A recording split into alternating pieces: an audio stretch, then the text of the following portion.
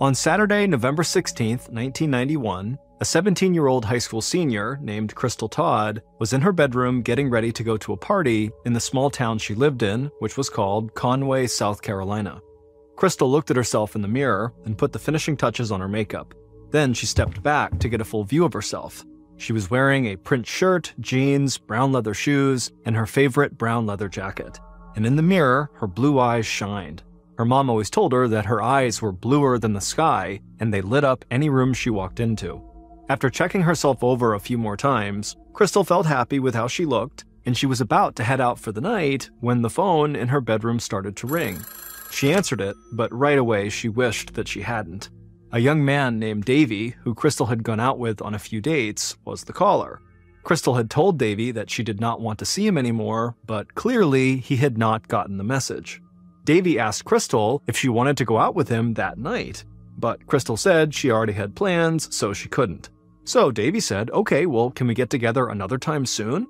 Crystal had always been taught to be polite, so she took a deep breath and, in a sweet voice, told Davy again that she did not think they should see each other anymore, but she hoped they could still be friends.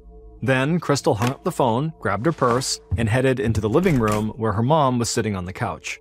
She told her mom that she was going out and gave her a hug. Her mom reminded her to be home by 12:30, and Crystal just smiled and nodded. Crystal almost never missed her curfew, and even if she was going to be home just a few minutes late, she always called her mom ahead of time to let her know. So Crystal said goodbye to her mom and stepped outside onto the large wooden porch in front of their traditional country style house. Then Crystal walked across the yard to her new blue Toyota Celica car parked out front. She climbed into the driver's seat, started the car, and immediately felt a rush of excitement. Crystal loved this car. It had been an early graduation present from her mom. Her mom had even gotten her vanity license plates that read C. Todd. Crystal leaned across the passenger seat, opened up the glove compartment, and grabbed a cassette tape from inside. She put the tape into her stereo, turned the music up loud, and then pulled away from her house and turned onto a tree lined road that led toward the center of town. Just being behind the wheel of her beautiful new car gave Crystal a sense of freedom that she rarely felt in this small town where almost everyone knew everyone else's business. And as she drove, she looked out at the dense woods that surrounded most of Conway and thought about what her life would be like once she finally left her hometown.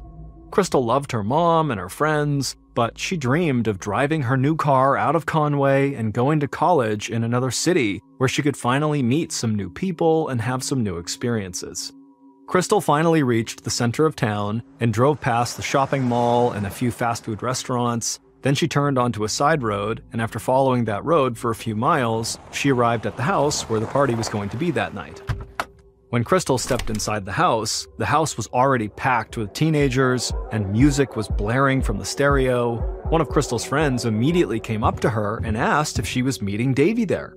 Crystal frowned and said no, she was not, and she actually hoped Davy would not show up to this party at all. But Crystal would tell this friend that there actually was another guy Crystal was hoping to see at this party. But when Crystal's friend asked her who this guy was, Crystal just smiled and didn't say anything, like she was keeping a big secret.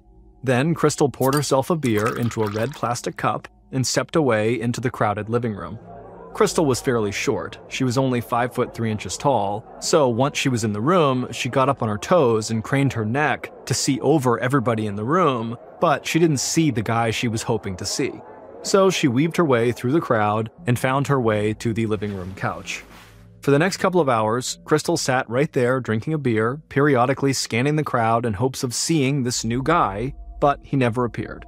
And as Crystal scanned the room that night, she started to become more and more aware of all the happy couples dancing and talking to each other, and it started to make her feel really lonely.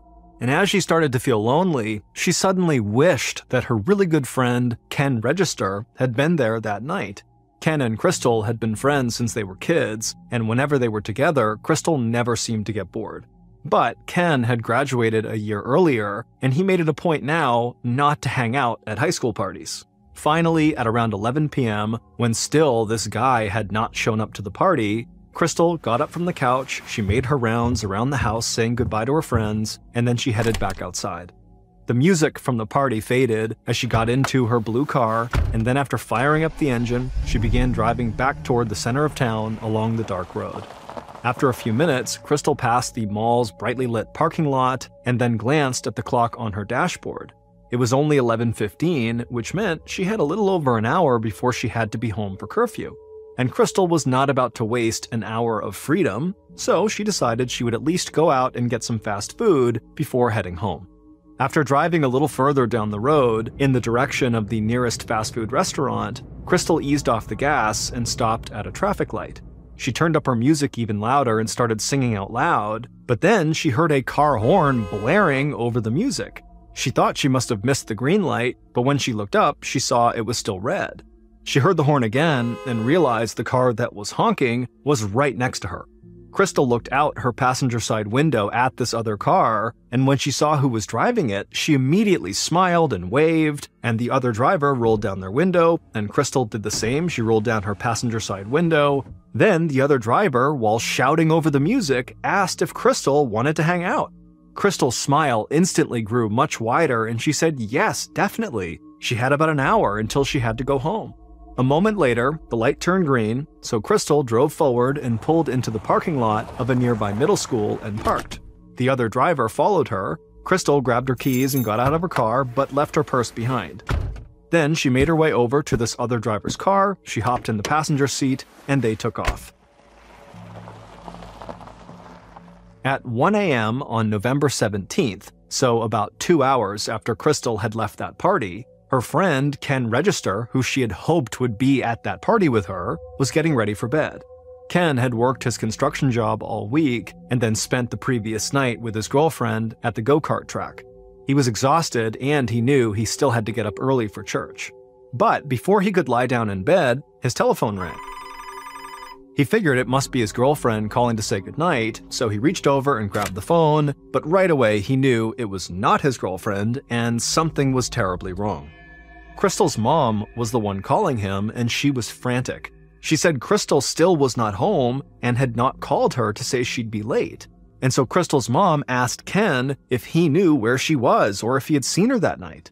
Ken told her that he had not been with Crystal that night, so he didn't know where she was, but he reassured her that, you know, Crystal was probably just out with friends and had lost track of time and would be home soon. But nothing Ken said seemed to calm Crystal's mother down. Instead, she just kept saying, Ken, I really think something is wrong. She's never late. And if she's going to be, she always calls. And so Ken, who had known Crystal's mom since he was a little kid and could really tell this was a crisis point for her, he told her, Look, I'll call the two closest hospitals and see if maybe she's in one of those. So Crystal's mom thanked Ken and he told her he would call her right back after he called the hospitals. After Ken hung up with Crystal's mom, he would call both hospitals, but neither had any records of Crystal ever having come in that night. So, Ken called Crystal's mom back and gave her the news, but he told her again that, you know, Crystal was fine. She likely just lost track of time, or maybe she got sucked into dropping someone off who lived far away, but don't worry, she'll be home, everything's fine.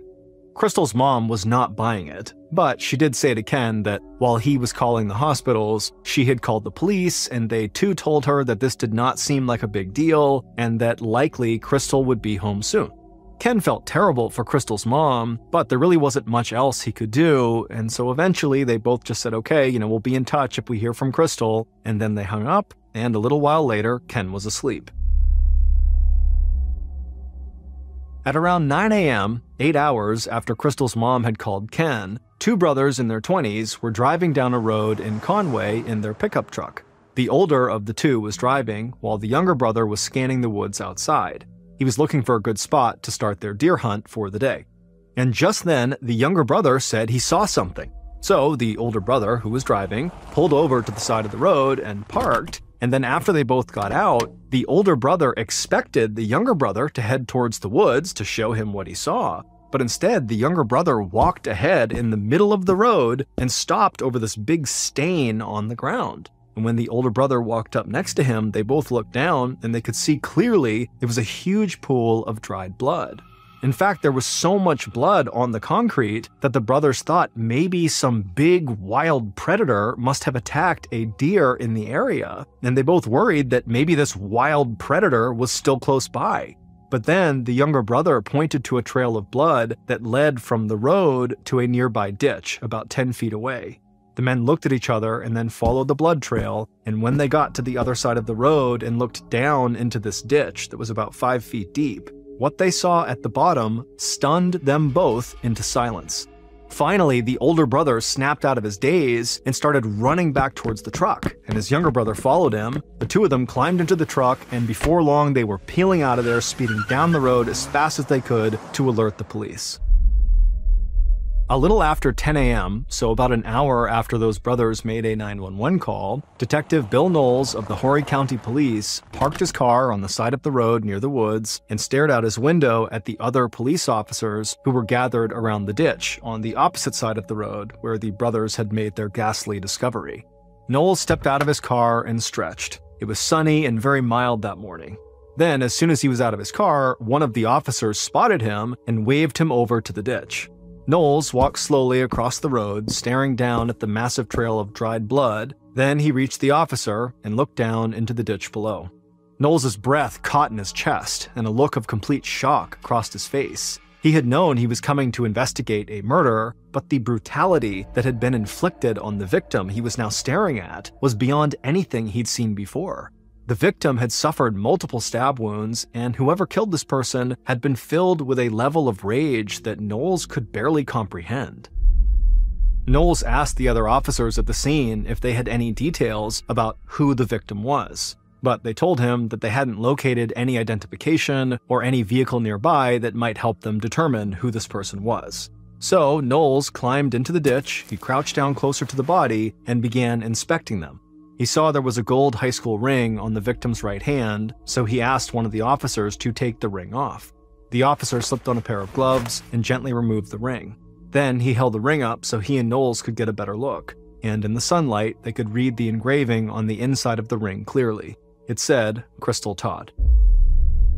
Knowles had children of his own, and so seeing this young woman whose life had been stolen from her really hit him hard. And so, right there in the ditch, he leaned over Crystal's body and he quietly promised her he would find whoever had done this and he would bring them to justice. Then Knowles climbed out of the ditch and walked back towards his car. Officers would stay back at the scene to collect blood samples from the victim and from the road, and those samples would be passed on to forensics labs in the area to be tested. But Knowles knew those tests took time, and he wanted to start working right away. So he got into his car and he drove off, determined to keep the promise he had just made to that poor girl. Not long after leaving the crime scene, Knowles pulled up in front of Crystal's house, and he saw Crystal's mom pacing back and forth and smoking on the large wooden porch. He could tell she had not slept all night.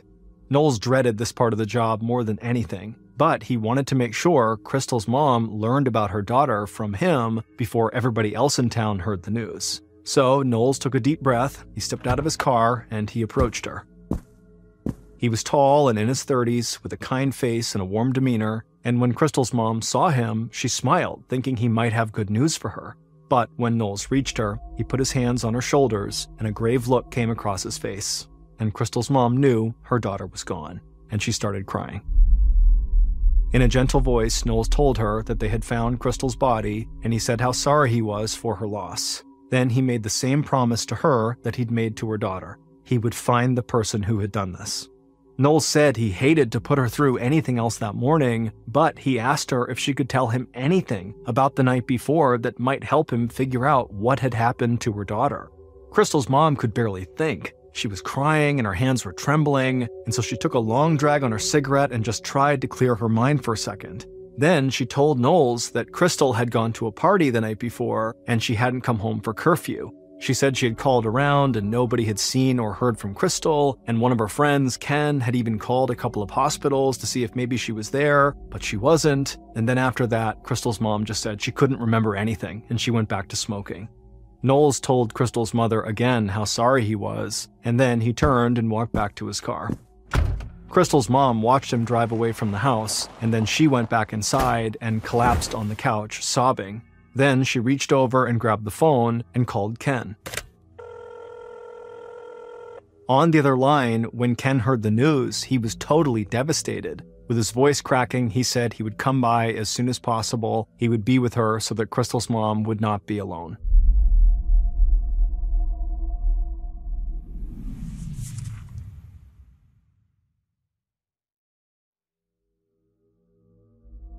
Not long after Knowles left Crystal's house, he got word that Crystal's car had been located. It was found in the middle school parking lot. So Knowles headed in that direction.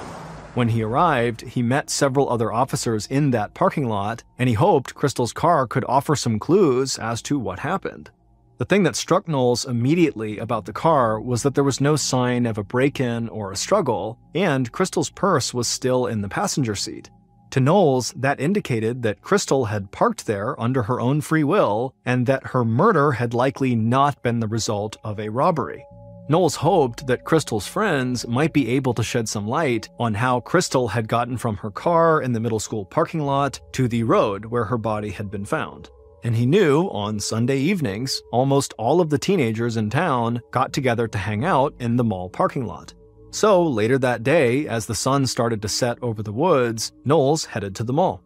By the time he got there, news of Crystal's murder had spread all through town, and the local teenagers had gathered together at the mall, just like Knowles figured they would. But instead of making plans or talking about school, the teenagers were discussing what had happened to their friend Crystal. Knowles parked his car, stepped outside, and walked towards a group of kids who were leaning against a car nearby. He introduced himself and asked if any of them had known Crystal. He was not surprised that basically all of them said they either knew her well or had at least spent some time with her in school. Then Knowles asked if any of them had been to the party where Crystal was the night before, or if they had heard anything about what had happened the night before. One of the young women nearby chimed in and said that she heard that Crystal had been murdered as part of a satanic ritual. Knowles sighed and shook his head. The last thing he needed was some crazy rumor about Satanists spreading through town. But then another girl said she was at the party the night before and that Crystal had hoped to meet a guy there. Knowles asked who this guy was, but none of the kids seemed to know. Then the girl said there was another guy who might have gone looking for Crystal the night before. She said his name was Davy and that Crystal had broken up with him after a few dates and he was really angry about it. And all of the other kids in the group agreed. Davy was someone Knowles should talk to. So, Knowles got all of the information he could about Davy from this group of teenagers, then he told them all to be careful, and he headed back to his car. The kids had told Knowles that Davy lived in a nearby town, and back at the station, Knowles got an address. And Knowles had connections in the police force in the neighboring town, so he contacted them and told them what was happening. They said they would round up Davy for him and that Knowles could question him at their police station. And so later that night, Knowles drove out of Conway towards this nearby town, and he was already starting to form a picture of what he thought could have happened based on the crime scene and how he had found Crystal's car. Knowles believed Crystal had parked her car at the middle school by choice and then gotten into another car with someone she knew, and he thought there was a strong possibility that whoever was driving that other car was the person who had killed her. And considering the violence that had been inflicted on Crystal, Knowles thought he was most likely looking for a young man who was angry with her. And Davy, a teenage boy who Crystal had rejected, definitely fit that description. A little while later, and Knowles had finally arrived at the neighboring town's police station. When he got there, an officer from the local force greeted him and told him that Davy was ready for questioning. The officer also said when they picked Davy up, they discovered the exterior and interior of his truck had just been washed, and that the boy had been carrying a pocket knife. Then the officer led Knowles through the station into a small interrogation room where Davy was seated behind a wooden table. The room was very bright and very cold. Knowles took a seat and stared across the table at Davy. Davy was 18 years old, tall and wiry, and he couldn't stop shifting around in his chair. Knowles' expression was blank, and he didn't give away anything he was thinking. Then, in a calm voice, he asked if Davy had killed Crystal. Davy shifted more in his chair and tapped his foot on the ground. He didn't look up at Knowles, but he said he had nothing to do with any crime. He said he'd called Crystal the day before to see if she wanted to go out with him, but she had said she already had plans. Not totally buying his answer, Knowles pushed a little more and asked if Davy made a habit of washing his truck on Sunday evenings. Then, for the first time, Davy looked Knowles in the eye. He smiled at the detective and said keeping his vehicle clean was very important to him. Knowles smiled back at him, at which point Davy looked back down at the floor. Then Davy cleared his throat and said again that he had not seen Crystal the night before and he hadn't even been in Conway. Knowles leaned forward across the table and asked if anybody could back up his story, and Davy said some friends had been with him, so yes. Davy fit Knowles' idea of the potential killer, but Knowles knew he still had to gather more information before he could determine Davy's guilt or innocence. The kid had been a little smug about cleaning his truck, but a lot of young men in the area went out of their way to keep their trucks looking really good. And Knowles knew a knife was most likely the murder weapon, but Davy carrying a pocket knife on him was not out of the ordinary because it was a pretty common practice amongst hunters and hikers in the area. So Knowles told Davy not to leave town and that police would be in touch if they needed more information. Then he walked out of the interrogation room, thanked the officers at the station for helping him, and headed back outside to his car. It had only been about 12 hours since Crystal's body had been discovered, but Knowles already felt like he was running out of time. He knew that the murder of a popular high school student could send panic through a small town like Conway, so he wanted to close the case as fast as possible and reassure everyone that their families were safe. But over the next several days, Knowles questioned all of Davy's friends, and they all corroborated his story that he had not seen Crystal or been in Conway on the night of her murder. And so Knowles started to feel like his chance to close this case quickly was slipping away. A week went by with no new leads in the investigation, and now Knowles found himself standing outside in a huge crowd of people gathered in the church cemetery who were desperate for answers. Over a thousand people were there to attend Crystal's funeral, including almost every teenager who went to school with her. Knowles could hear crying throughout the crowd as the minister said his final prayer. Knowles and members of his team had come to the funeral to see if anything or anyone might stand out and offer them any sort of clue. But as Knowles watched Crystal's friends and family walk by her coffin to say their final goodbye, all he saw was a town in mourning. Crystal's death had affected everyone, and he knew her murder would stay with this community for decades to come. By the time Knowles left, he knew the funeral hadn't given him any new information to go on, in fact, it had just made it clear how difficult his job would be. In a town like Conway, where everybody seemed to know Crystal, the list of potential suspects was almost endless. So, not long after the funeral, Knowles reached out to state law enforcement and forensics experts in South Carolina for help.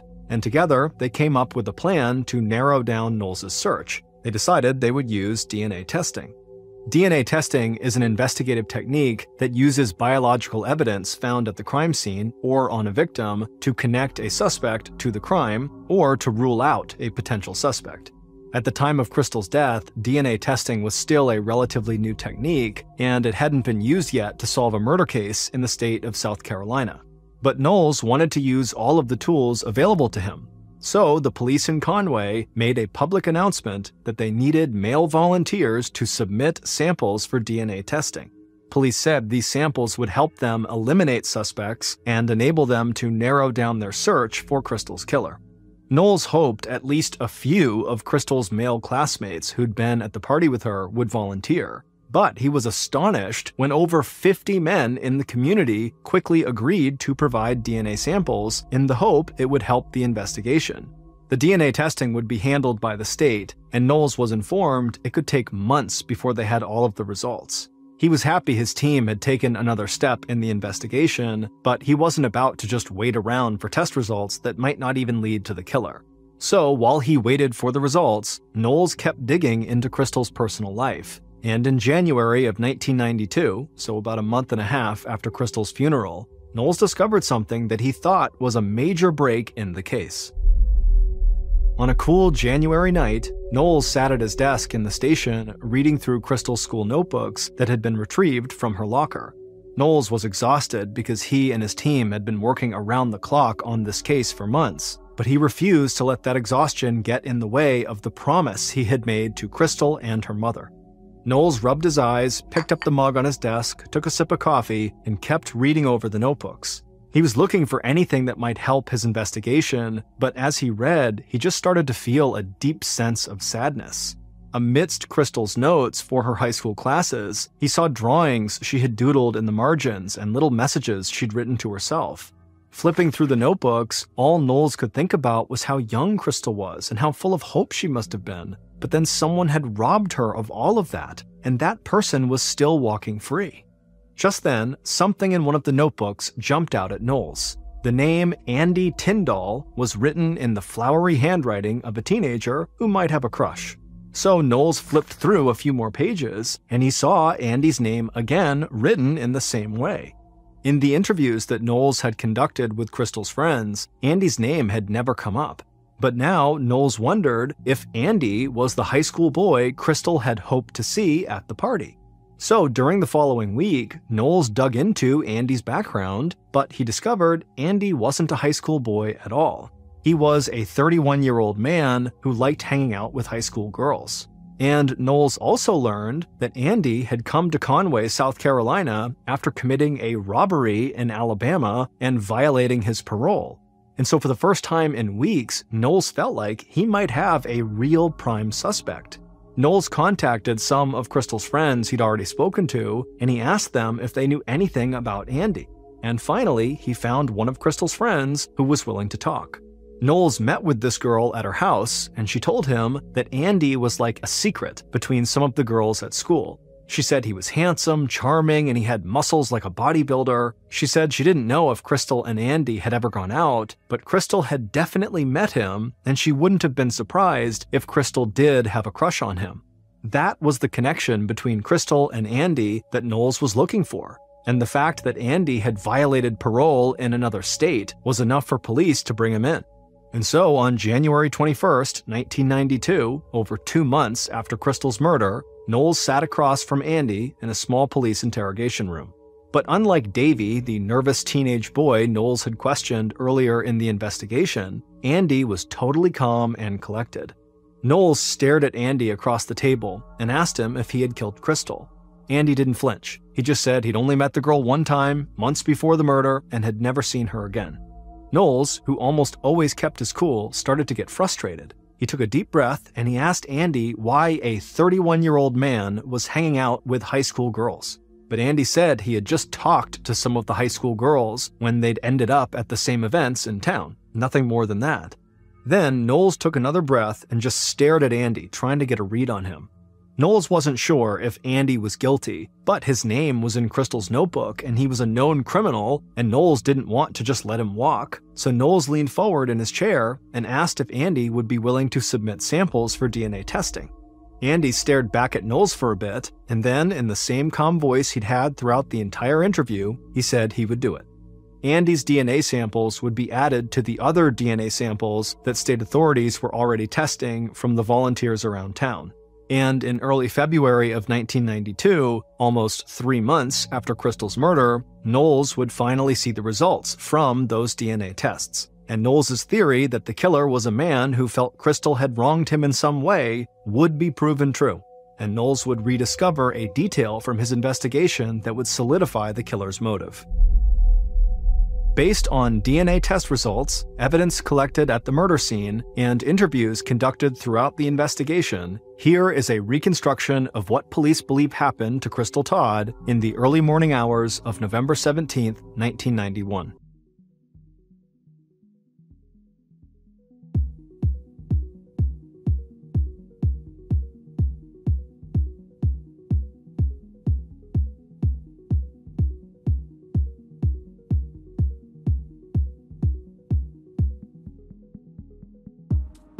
At about 11:15 p.m. on November 16th, Crystal's killer cruised down the tree-lined road that cut right through Conway in his blue Plymouth Sundance car. He passed by the mall and glanced out the window to see if anyone was hanging out, but the parking lot was empty, so he kept on driving. It was getting late, but he really wanted to find a girl to spend some time with. Then he looked up the road ahead of him and saw a car coming to a stop at a red light. He looked closer and saw the vanity license plates that said C. Todd, and he started laughing. He knew that was Crystal's car, and if he could have picked one girl in town to be with right now, it would have been her. So the killer pulled up right next to Crystal's car and began honking. She didn't respond, so he leaned on his horn even harder, and this time it worked. And Crystal looked over at him and she smiled. He smiled back, and he felt his heart beat a little bit faster.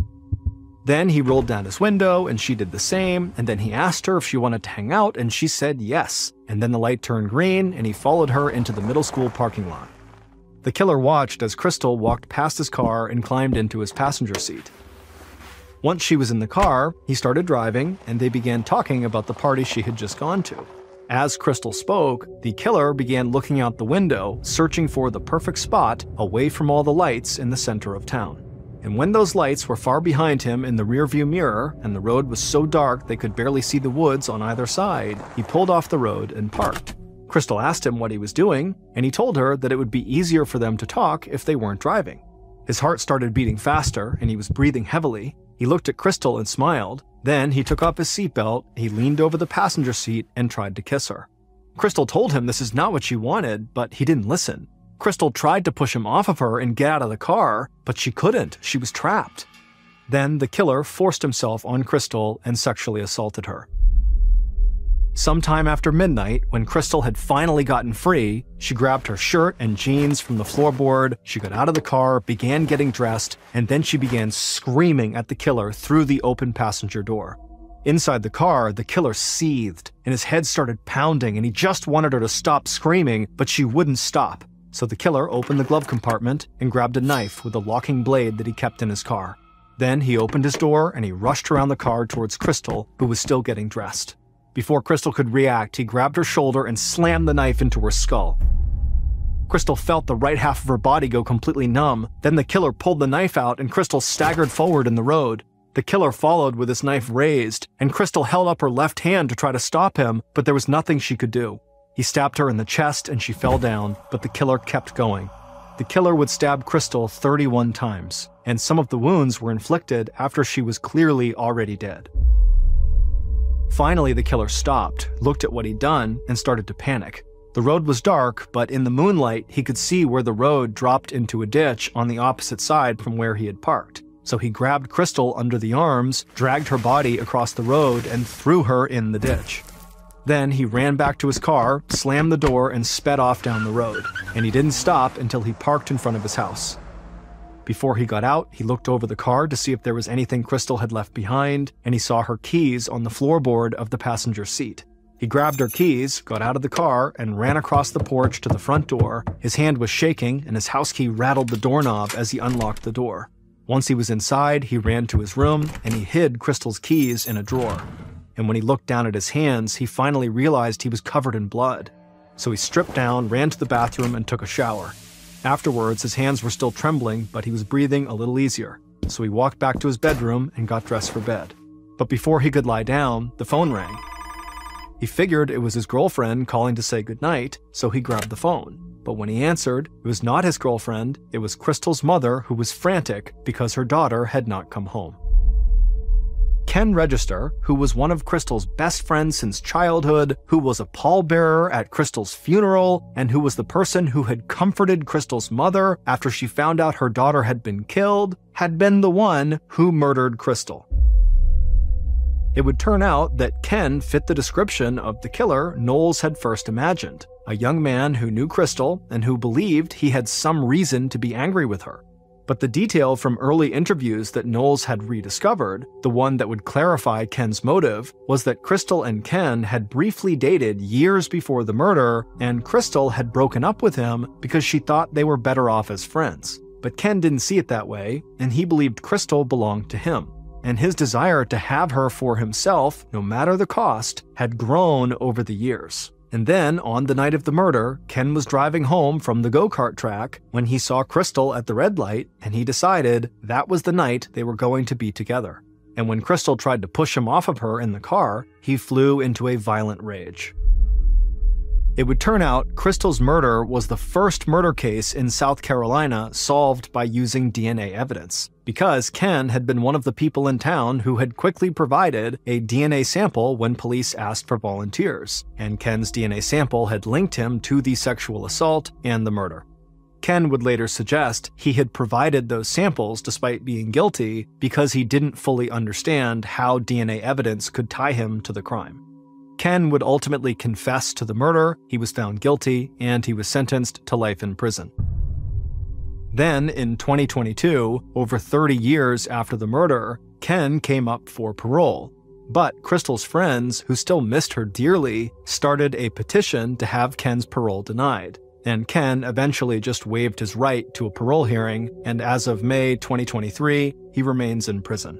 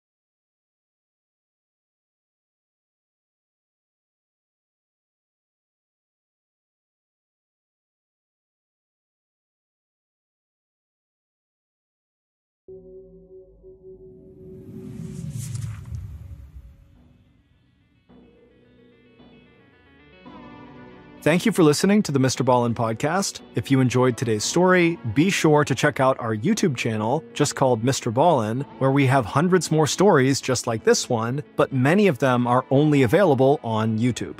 So that's going to do it. I really appreciate your support. Until next time,